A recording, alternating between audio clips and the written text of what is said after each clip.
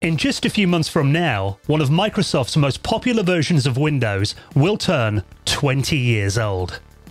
And today, we're going to look back on the launch of Windows XP, find out how it changed the face of computing for many of us, and explore using it in 2021. Is Windows XP still usable as a daily driver? And today's video is brought to you with my sponsor, Fasthosts, who've actually let me write a question for their techie test. And if you're based in the UK and you know the answer, you've got the chance to win the ultimate work from home setup worth up to £5,000. Check the link in the description and I'll explain more later in this video. Released on Thursday, October 25th of 2001, Windows XP was a real revolution for both home and business users. In fact, it was the first version of Windows that persuaded me to switch over to it as my main operating system. And I still remember lining up in the rain early in the morning outside PC World to pick up my copy on launch day. Now, I had used Windows 98 for a couple of years part time, but XP just felt rock solid. Of course, being built on the Windows NT core that previously was only used in enterprise releases of Windows, it took all the best bits of Windows 2000 and brought them to the general market. But it wasn't all sunshine and roses. The release of Windows XP came off the back of a huge antitrust law case where the US government accused Microsoft of illegally maintaining a monopoly, and a fact that was reminded to Bill Gates during launch day interviews. I don't want to finally be the one on your big day to remind everyone of this, but in the courts, your company has been branded a bully.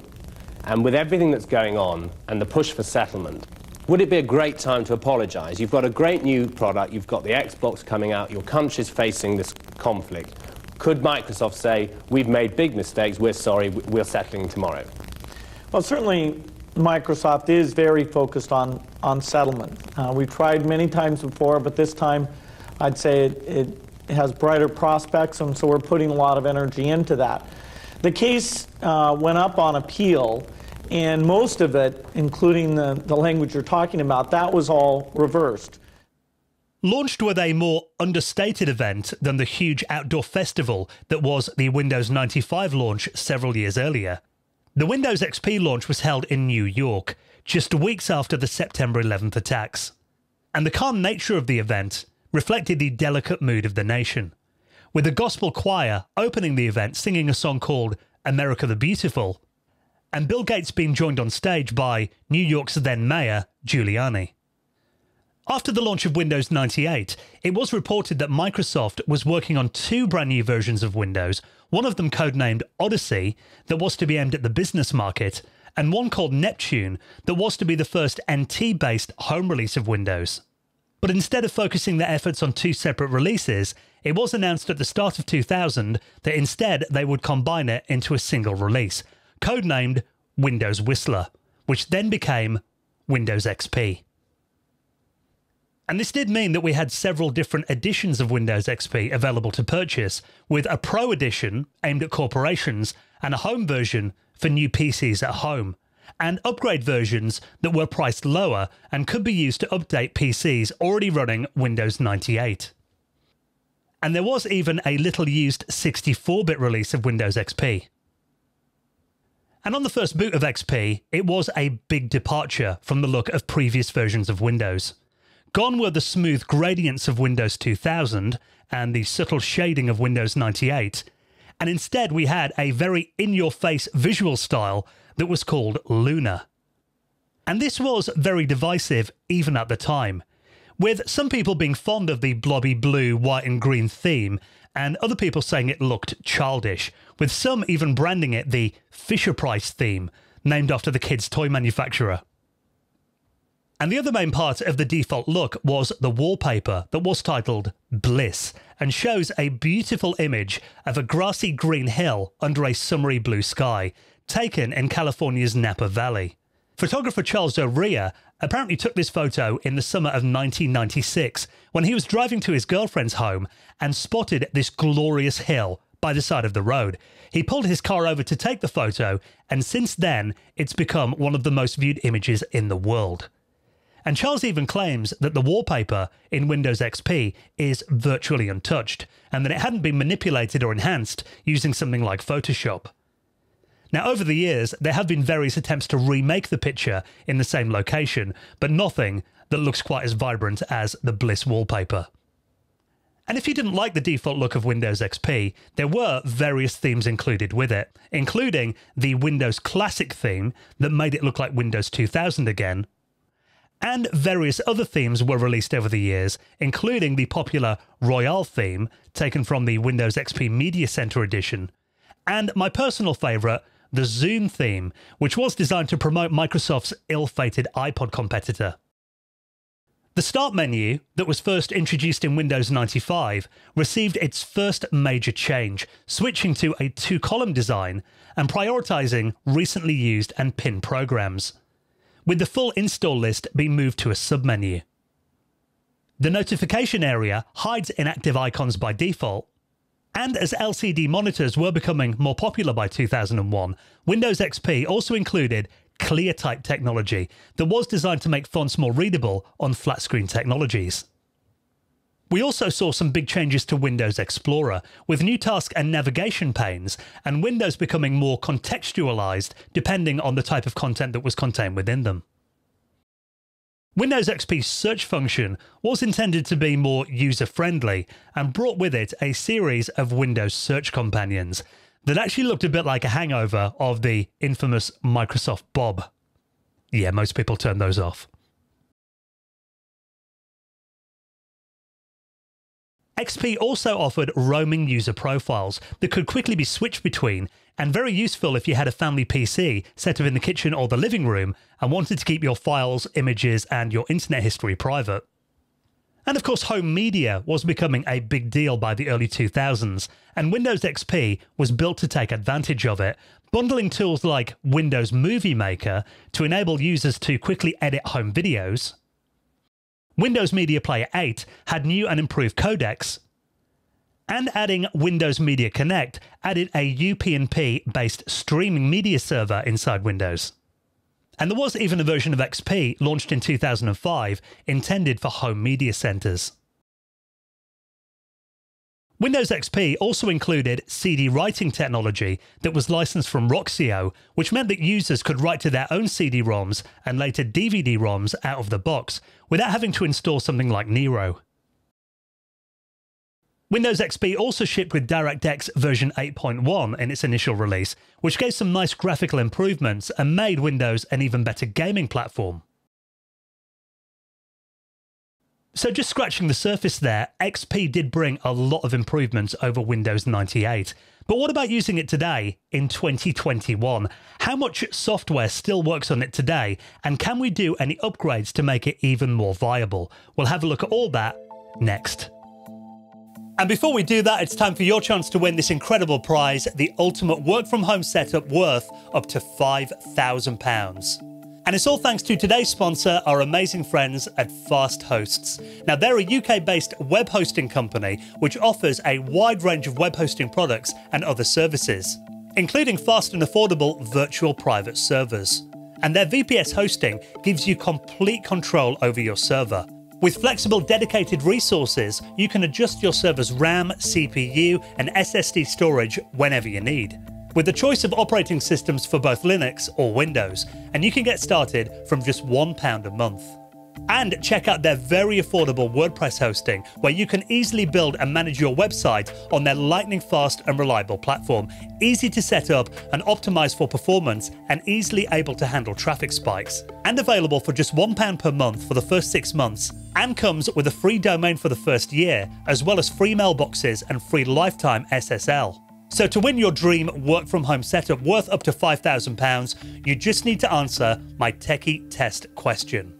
What was the code name of Windows XP? Was it A, Chicago, B, New York, or C, Whistler? To answer and win the work from home setup, just head to the link in this video's description. And a big thank you to FastHost for sponsoring this video, and good luck. So Windows XP stayed on the market for a lot longer than Microsoft originally intended. Its successor, Windows Longhorn, was supposed to be released just two years later in 2003, and you can check out my full video on Longhorn to hear more about that story. And when its eventual successor, Windows Vista, was released in 2007, it landed to a very poor reception. So many companies and users just stuck with Windows XP, meaning that Microsoft had to virtually drag them, kicking and screaming, off of XP onto Windows 7 by killing Windows XP off and ending extended support in April of 2014, over 12 years after the operating system was first released and the embedded version of Windows XP was still receiving updates and support up until 2016. And there was even a patch released by Microsoft in 2019 to patch the WannaCry vulnerability. So Windows XP lasted a lot longer than Microsoft ever wanted it to, but using it in 2021 as your main operating system is obviously not recommended by Microsoft or really anyone who cares about security. But there are some ways to keep Windows XP running and keep it more relevant 20 years after it was first released. And believe it or not, there is still software supporting XP today.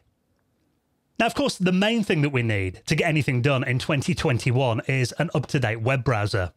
And there are operating systems like Chrome OS that today are essentially just a web browser. So if we can get a modern browser running on here, then really we are 90% of the way there.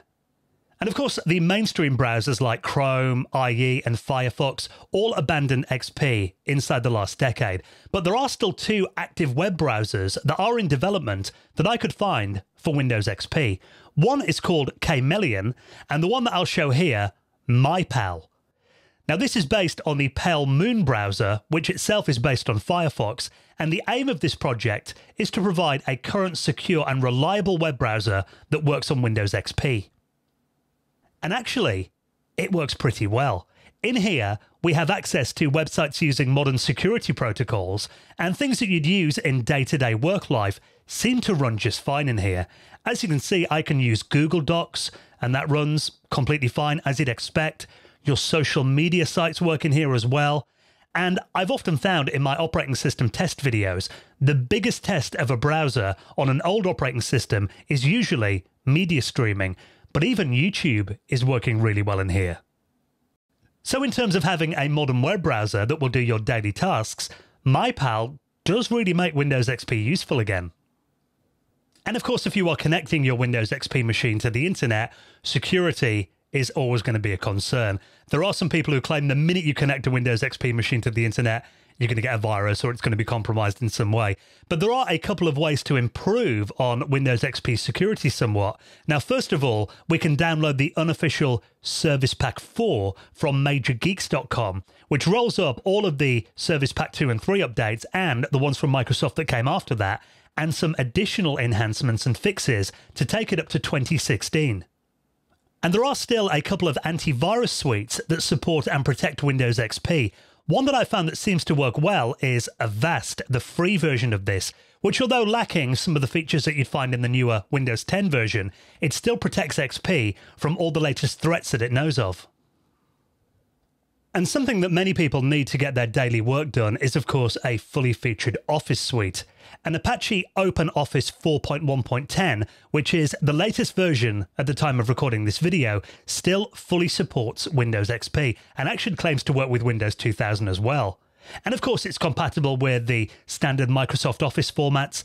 And for doing your daily document writing and spreadsheets and handling, you've got everything you need in here. And there are even guides on places like Reddit on getting things like Steam working on Windows XP.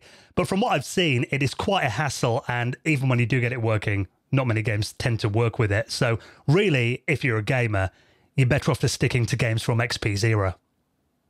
And there is still an old Spotify client for Windows XP that somewhat works with a few missing features, but really the best way to use Spotify is via the website, which actually still works completely fine in the MyPal browser.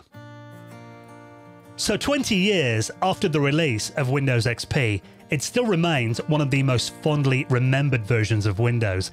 And during its unexpectedly long life, it started out as an operating system that did a lot to improve over Windows 98. And then, as the decade went on, it became so ingrained into a lot of our lives that people were very reluctant to leave it behind.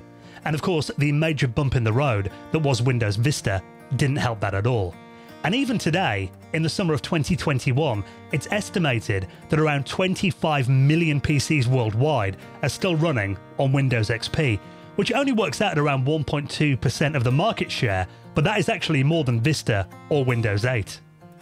And while I wouldn't want to run XP as my main operating system today, I've got to admit, upon my testing here, it is still more usable than I imagined it would be today, and it is actually possible, if you really wanted to, to use XP as your daily driver in 2021, which really proves what longevity it's had.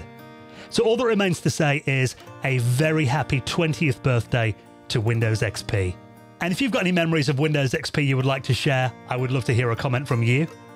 And just a quick reminder that I do a weekly retro gaming and technology podcast with new episodes released every Friday, and we bring you veterans of the industry on for an interview each week. And you can get new episodes from your favorite podcast client. Head to our website, theretrohour.com, or ask your smart speaker to play the Retro Hour podcast. And while you're here on YouTube, here are another couple of my videos I think you might enjoy. Thank you for watching, and I'll see you next time.